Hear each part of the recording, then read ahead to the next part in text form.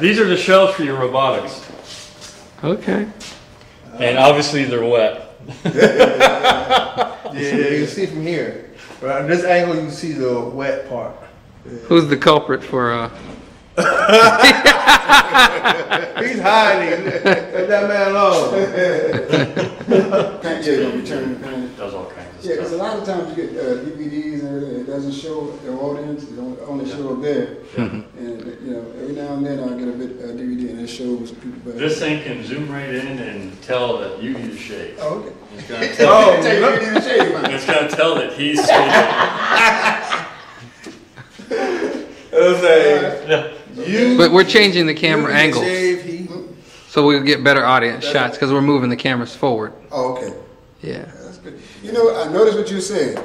When I was, when we had the men's choir, we couldn't hear back then. I noticed you asked, asked the, turn and asked the choir, can y'all hear me? Uh huh.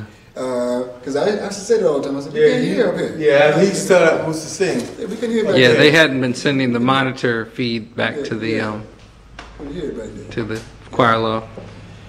I try, I try, I'm trying to recruit um, somebody else to come on on Wednesday because as I stand here now, my, I got my director down at uh, MSB, and he told me go, he'll call me in an hour. That was 11 o'clock, so be there, and he'll Yeah, call. he'll be calling you. Yeah.